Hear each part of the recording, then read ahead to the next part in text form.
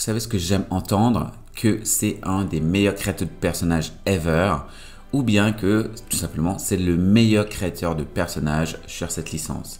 On parle là de Dragon Age, plus précisément de Dragon Age de Velgard, avec l'exclusivité qu'a reçu Game Informer, le magazine de jeux vidéo, ben, justement autour du jeu.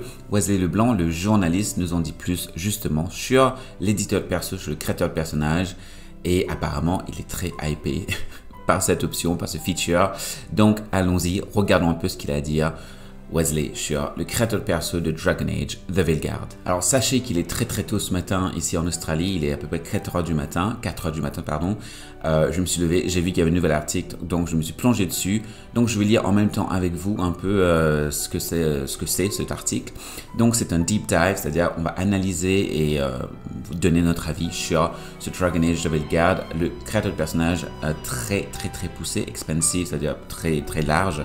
Donc voilà par Wesley Leblanc, donc c'est l'article de Gaming Farmer.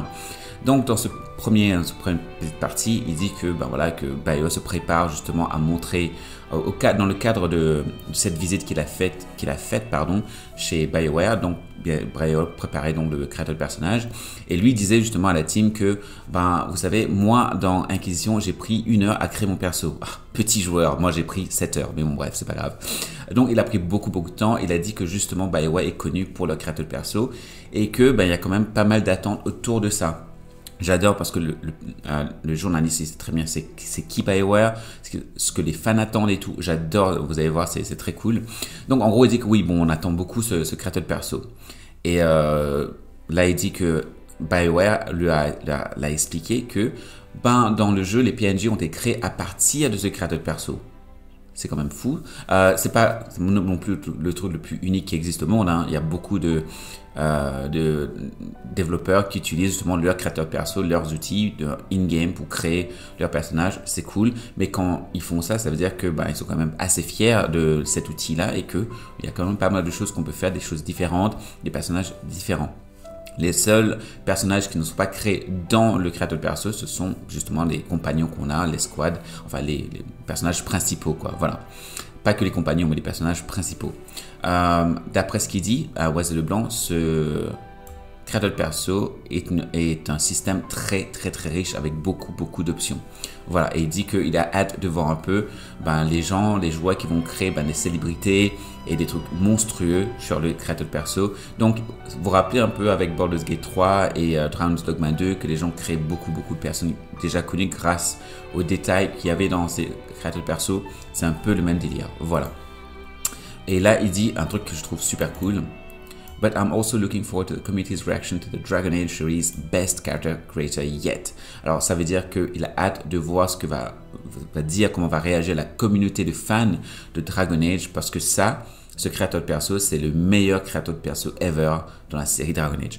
Et là, j'ai envie de dire, bah, il y a intérêt, il y a intérêt, parce que bon, 10 ans on a attendu. Déjà que je suis à Acquisition, moi j'avais beaucoup aimé le créateur de perso chez Acquisition. Après, le Frostbite Engine a fait que bon, les visages in-game, ben, des fois c'est un peu casse-gueule, mais en tout cas c'est quand même un sacré créateur de perso. Donc là, quand il me dit que ça va être encore meilleur, ben, il y a intérêt quand même, et c'est quand même très cool d'entendre ça. Ok, donc là, Corinne Bush l'a un peu expliqué euh, le truc avec les de perso. Corinne Bush étant euh, le game director de Dragon Age The Veilguard, donc la réalisatrice. Alors, comme d'habitude, il y a quatre races à choisir elfes, kunari, humains et nains. Et après avoir sélectionné Kunari, Bush, ben, elle montre un peu tous les presets, euh, donc les, options déjà faites, et elle explique aussi que le jeu euh, autorise beaucoup plus de détails en fait sur les personnages. Euh, et on peut aussi choisir les, prénoms, euh, les pronoms, c'est comme ça qu'on dit en français. Donc il, elle, euh, il, il, lui, etc. etc. Je sais pas, them en français c'est quoi? Je ne sais pas du tout, vous me direz dans les commentaires. Donc on peut choisir évidemment notre sexe, les types de corps différents, etc. On peut aussi regarder, voir notre personnage qui est dont le nom c'est Rook dans le jeu. C'est comme ça que les autres personnages vont l'appeler Rook et nous on pourra choisir le nom de famille. Bref, on pourra voir notre personnage euh, dans quatre différentes scènes illuminées différemment. Donc c'est très très cool. Donc le jour, la nuit, euh, ce genre de choses. Et ça c'est très très cool parce que euh, quand on crée notre personnage in-game, parfois on n'a pas vraiment la réalité en fait du perso dans le jeu. Moi par exemple dans l'Inquisition, j'avais passé autant de temps sur le créateur de perso tout simplement parce que dans le, dans le créateur de perso, il avait l'air très très beau. Ensuite tu le mets dans le jeu et la peau était trop blanche ou parfois les cheveux, n'étaient pas la bonne couleur ce genre de choses. Euh, donc là, pour le coup, on pourra euh, vérifier avant justement de, commencer le jeu. Et là, il dit que bah, voilà, il a dit qu'il a passé à peu près une heure à créer son personnage d'Inquisition, euh, qu'il a il a immédiatement relancé le jeu après avoir vu dans la première scène, dans la première cinématique, etc., etc. Et voilà, il dit exactement ce que moi je dis, que la lumière faisait que la couleur de cheveux était horrible, etc., etc. Euh, et là, il dit que le euh, creative director, donc le réalisateur créatif, pas si c'est ça le nom en français exactement, John Epler, qui est un producteur de longue date aussi sur, enfin c'était un staff de longue date sur Dragon Age, dit que l'équipe est très au courant des, euh, des histoires, des, histoires d'horreur pour les créateurs de personnages. Donc voilà, ils sont très très contents que ce créateur de perso pour Veilguard va être de meilleure qualité. ensuite, il dit que euh, la tête et le corps pour les presets, donc les options déjà faites, euh, peut être choisi euh, individuellement et customisé à notre goût avec 40 différentes complexions. Alors complexion pour ceux qui ne savent pas, c'est pour la peau, hein. c'est genre comment la peau va paraître. Mon dieu, 40 différentes complexions, mais c'est extraordinaire. qui inclut donc très, très doux, très smooth. Smooth c'est quoi? C'est très je sais pas que c'est quoi smooth en français, mais c'est-à-dire que c'est, il n'y a pas de, il y pas de défaut en fait. C'est très très très euh, euh, très doux. Je sais pas si c'est comme ça qu'on dit. Uh, rugged, c'est-à-dire un truc un peu plus genre, euh, comment dire rugged en, français? C'est-à-dire c'est, ah, il y a, peut-être la barbe, il y a peut-être des, des euh, des tâches, ce genre de choses. Vous me direz dans les commentaires si c'est bien ça, rugged. Rugged, pour moi, j'imagine quelqu'un comme Geralt de Rive. Voilà, pour moi, rugged, c'est comme quelqu'un de comme Geralt de Rive ou Henri Cavill, par exemple. Youthful, c'est-à-dire qui a l'air très jeune, et aussi avec des, euh, euh, des freckles, c'est-à-dire des taches de rousseur, ce genre de choses. Bref, ça a l'air très très cool. Et donc, on a aussi des, des couleurs de peau, enfin des couleurs de peau, pardon, c'est-à-dire de ton de peau, pardon, ton de peau qui peut aller euh, vers le plus cool ou un peu plus neutre ou un peu plus, euh, plus chaude. C'est-à-dire, entre guillemets, euh, c'est voir un peu si vous avez l'air un peu pâle, quel, quel, genre de ton de peau vous allez avoir en fait. Et ça va aller avec les couleurs de cheveux, etc. Et si vous, êtes des, si vous avez créé une nana, c'est le genre de choses que vous allez décider pour que ça aille bien avec le make-up. Si jamais il y a du make-up, ce genre de choses. Ensuite, qu'est-ce qu'il dit? Il y a aussi un slider, donc euh, une barre de, choix pour le mélanine. Donc ça, c'est un truc avec la peau, encore une fois. Ils sont vraiment allés très très loin avec la peau. C'est quand même incroyable. Euh, donc, il y a aussi que euh, ils ont consulté un peu pour voir un peu, pour donner un, truc très naturel pour les différentes sortes de peau, ce genre de choses, pour que tout soit très très bien représenté. Donc c'est pas mal du tout. Euh, il y a aussi un slider pour le vitiligo, vertiligo. Euh, pour ceux qui ne savent pas, c'est la maladie qu'avait euh, Michael Jackson avec sa peau. il y avait des taches et tout, que ça allait un peu, un peu gris, un peu blanc. Donc voilà, vous aurez ça. C'est quand même assez, assez développé. Et ensuite, on a évidemment les sliders pour le front, les sourcils, les joues. Euh, le menton, euh, et ça c'est quoi Joe? C'est Joe, comment vous dites? La mâchoire. Euh, le larynx, le scalp, c'est la tête, sont les cheveux, etc. Bref, il y a pas mal de choses. On peut aussi choisir nos sous-vêtements. Il y a aussi la nudité, parce que c'est un RPG mature. Je souligne ça, c'est un RPG mature. il y a aussi le body morpher qui permettra un peu ben, de morpher le corps pour que ce soit, soit un peu potelé, un peu mince, grand, petit, ce genre de choses. On a vu ça dans pas mal de RPG. Donc le body morpher, je pense que vous allez voir, vous allez comprendre ces trucs en triangle là, et vous mettez le, point soit en haut, euh, à gauche ou à droite, et ça va euh, adapter le corps en fait. Mais on a aussi des sliders pour les parties du corps, etc. Euh, et il dit qu'on peut continuer, hein. il y a tellement de choses, vous pouvez ajuster euh, la taille, euh, les épaules, la poitrine. Glute, c'est en gros, guillemets les fesses. Hein. C'est la partie des fesses. Hein. Et bulge, c'est la partie au devant pour les mecs. Donc pour le paquet sur le devant du pantalon. C'est un RPG mature, encore une fois. on pourra mettre aussi les yeux très rouges si on veut. si par exemple on, est très fatigué, on a mal dormi, les yeux sont rouges. Euh, encore, ça c'est truc avec les yeux, hein, les cataractes, euh, tout ça, tout ça. Euh, pour le nez, si jamais c'est cassé, etc. Bref, il y a tellement d'options, tellement, tellement d'options. Tout ça, c'est en rapport avec le nez, les, euh, narines et tout. on avait déjà ça un peu dans Dragon Age Inquisition, mais encore une fois, c'est beaucoup plus poussé et ça fait un retour ici dans Velgard et on est très très content. et aussi la bouche et les oreilles. Euh, les oreilles, on peut ajouter euh, la symétrie, euh, la profondeur, la rotation, la taille de earlobe, ça je sais pas comment vous dites en français. Cauliflower ear to your rook. Alors ça, je crois, je ne sais pas vraiment ce que ça veut dire, c'est-à-dire un chou-fleur pour, pour, les, pour les oreilles. Je ne sais pas s'il y a un, terme pour, décrire une espèce de, de forme d'oreille assez spécifique. Donc vous me direz dans les commentaires ce que vous comprenez par ça pour pour le français. Euh, en anglais, moi, j'ai l'impression que c'est un truc à voir avec euh, euh, le shape de, de l'oreille, en fait. En fait, c'est une déformité de l'oreille. En fait, si jamais vous avez été attaqué, vous avez blessé sur l'oreille, parfois ça peut déformer l'oreille et c'est ça le cauliflower ear. Donc, oreille en chou-fleur, quoi, en gros. Donc, c'est un peu ça. Il y a aussi du make-up, c'est-à-dire que c'est il y a du make-up donc pour les mecs les nanas évidemment, mais ce sera cohérent avec l'univers fantasy. Donc euh, ça va être un peu, c'est un mélange de, des trucs modernes qu'on a aujourd'hui, mais aussi mélangé avec l'univers fantasy pour que ce soit cohérent. Donc ça va être intéressant de voir. Pour ceux qui s'intéressent, il y aura du eyeliner, euh, de la couleur, euh, un peu de, de glitter, c'est quoi? C'est des, trucs brillants là, je sais pas comment on dit en français. eyeshadow, c'est le truc pour les yeux euh, qu'on met ici, là, j'ai oublié comment on dit, euh, des rouges à lèvres et du blush. Donc bon voilà, pour ceux qui se connaissent en make-up, moi je me connais absolument rien en make-up, ben, je suppose que ça va vous exciter, je ne sais pas. Euh, les tatouages sont aussi de retour, évidemment, on peut customiser les tatouages, on peut aussi avoir des cicatrices, il y a aussi des tatouages uniques pour les elfes, donc j'imagine que certains tatouages seront exclusifs à la race des elfes peut-être, je ne sais pas. on pourra ajouter les tatouages sur la gueule de Rook, sur son corps, sur ses euh, bras, sur ses, euh, ses, jambes. Bref, mon Dieu, mon Dieu, mon Dieu, tellement d'options.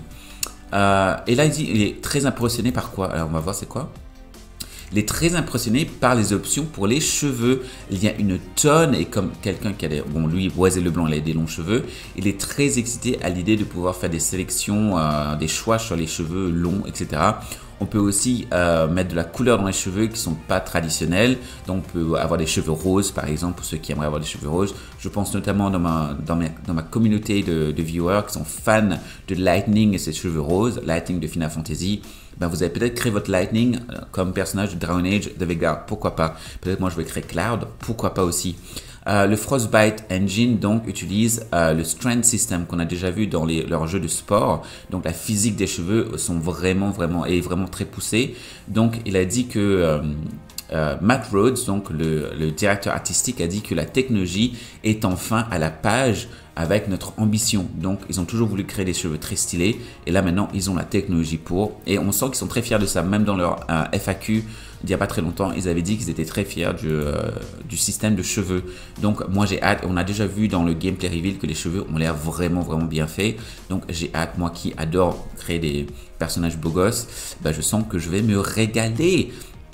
Et là, il dit que après avoir customisé tout ça et sélectionné euh, nos cornes pour, notre kunari et les matériels donc qu'on peut utiliser pour les cornes de kunari, il est temps de choisir une classe. Donc, on a voleur, mage et guerrier. Et j'en ai déjà parlé sur la chaîne dans la vidéo précédente où je vous parle des classes et factions de Dragon Age The Veilguard. N'hésitez pas à aller voir. Je mettrai en description, peut-être en fin de vidéo, vous aurez aussi la vidéo euh, à sélectionner.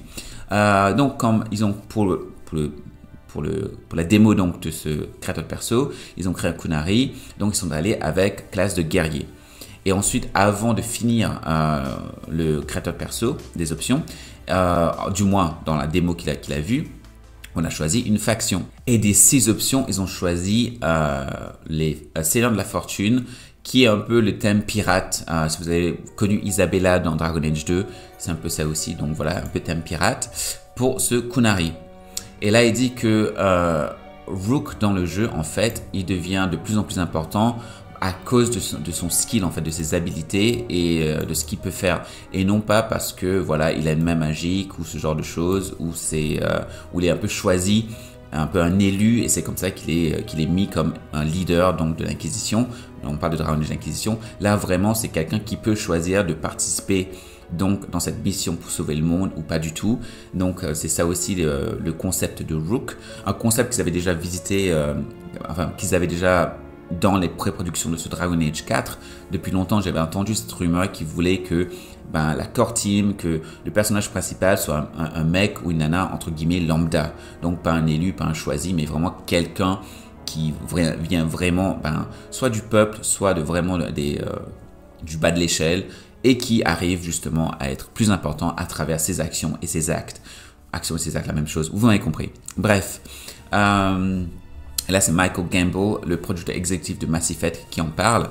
Et euh, il a dit que justement, c'est un contraste avec Inquisition. Donc, c'est quand même pas mal. Euh, donc, il dit que Rook est là parce qu'il a décidé d'être là et que ça en dit long sur le genre de personnage que c'est, en fait.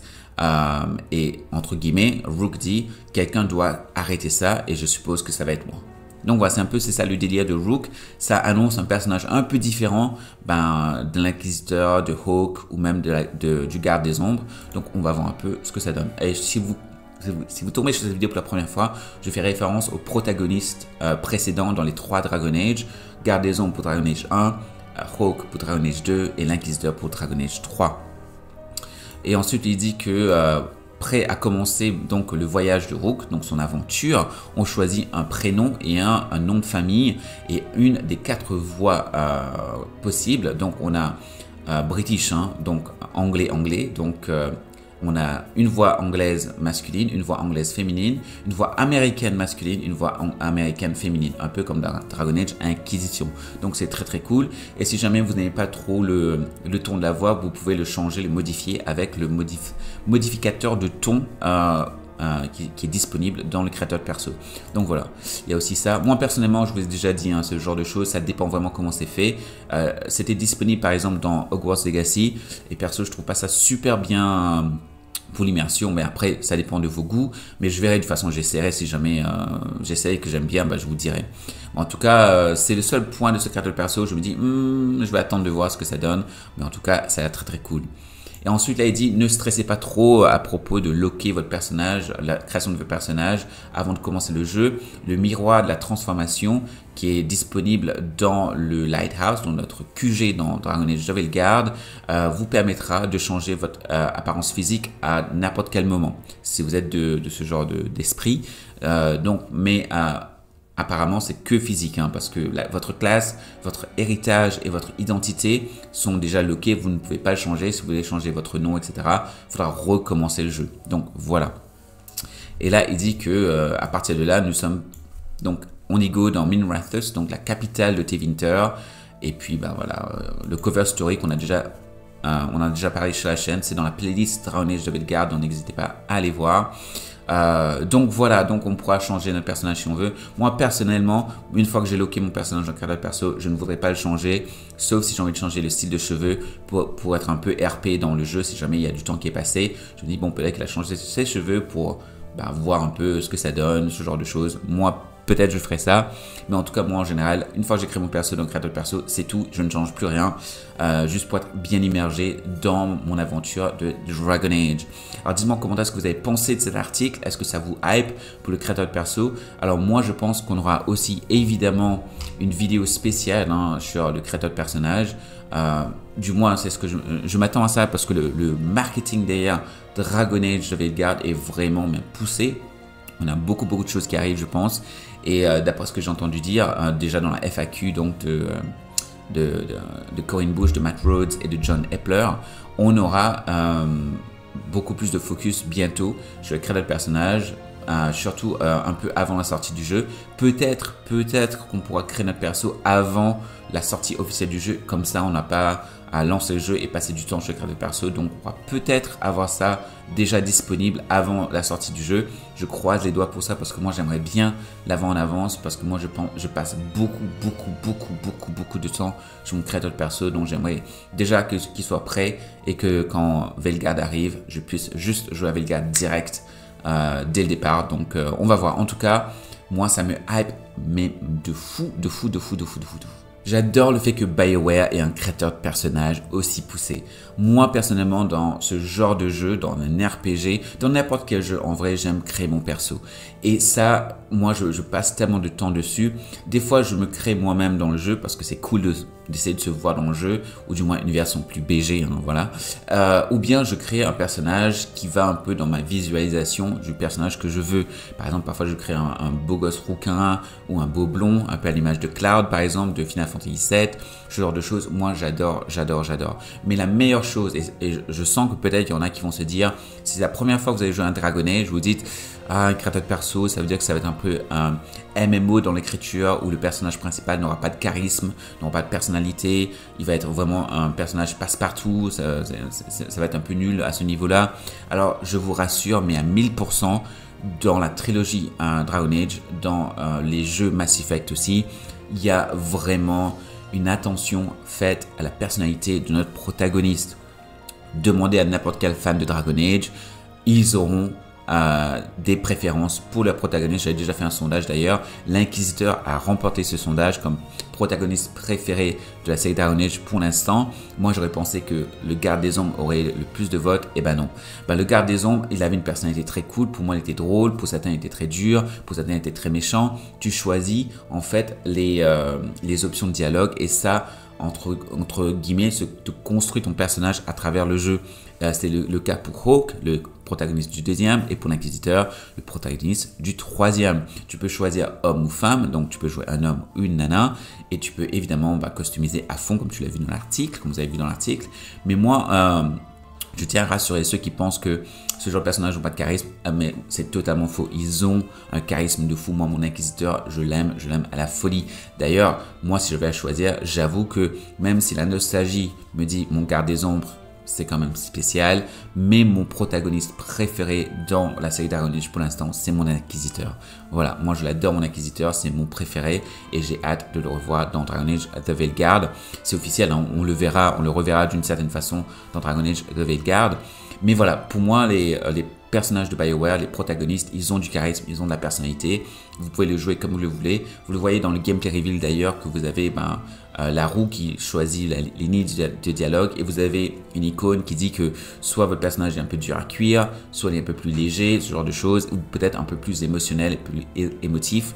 Donc vous le jouerez comme vous voulez. Et ce qui se passe en fait quand vous choisissez ces, ces options de dialogue, si vous choisissez constamment Admettons que la plupart de vos options que vous choisissez, c'est celui qui est un peu guerrier. Bah, à un moment donné, quand vous n'avez pas de choix de dialogue, quand votre personnage juste répond à quelqu'un ou qu'il parle, il va parler sur un ton, pardon, sur un peu plus guerrier, c'est-à-dire un peu dur. Votre personnage va être dur dans ses réactions, euh, que ce soit donc dans les euh, dialogues sur la map ou les dialogues dans les euh, cinématiques où vous ne choisissez pas votre, euh, votre ligne de dialogue, ben, il va être un peu, plus, euh, un peu plus dur à cuire. Moi, par exemple, pour mon inquisiteur, il était un peu plus émotionnel, donc des fois, quand il répondait, c'était avec émotion.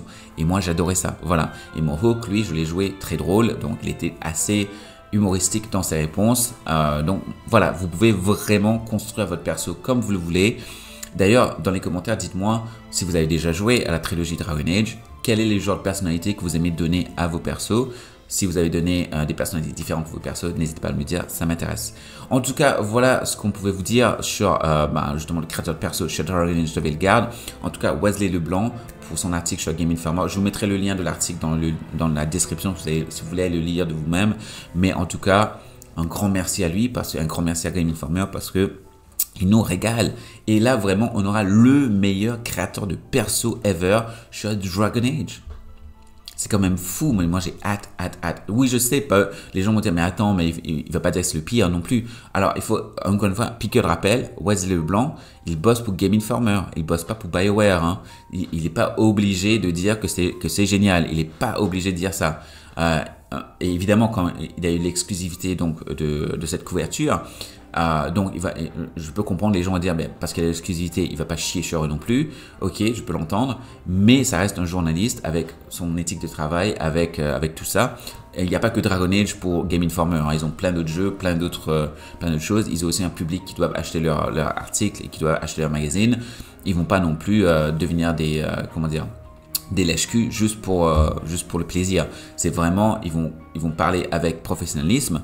Donc si ils pensaient que c'était pas top, ils l'auraient dit, je pense. Euh, dans Game Informer en général, s'ils aiment pas trop un truc, ils disent qu'ils sont un peu inquiets, etc. Ils vont pas dire que c'est nul, c'est à, chier. Ils vont pas dire ça comme ça. Ils vont dire par exemple que ben le gameplay, hmm, ok, la démo paraissait cool, mais manette en main, il faudra attendre de voir. Et il le dit, il le précise, Boisé de Blanc, que lui, il n'a pas eu la manette en main. Hein. Il a vu que la démo jouée par Corinne Bush, donc il peut pas parler manette en main. Il a bien précisé. Donc pour moi, voilà, c'est pour ça que je suis excité quand je lis ce genre d'article, parce que ça vient des personnes qui ne bossent pas pour qui ne bossent pas pour Dragon Age, mais qui sont quand même hyper excités pour le jeu. Et moi, ça, c'est un truc qui me hype, hype, hype. Bref, je pourrais en parler des heures de Dragon Age. D'ailleurs, on se retrouve ben, justement demain, samedi. Donc, euh, au moment où vous voyez cette vidéo, demain sera samedi. Donc, samedi 21h pour parler de Dragon Age en live, en direct, ici même sur ma chaîne YouTube. Donc, abonnez-vous si vous voulez avoir la notif quand le live est lancé. C'est à 21h, heure française. Voilà. Je suis australien, mais je fais des lives à l'heure française. Voilà, je me lève à 2h, 3h du matin pour faire des lives avec vous.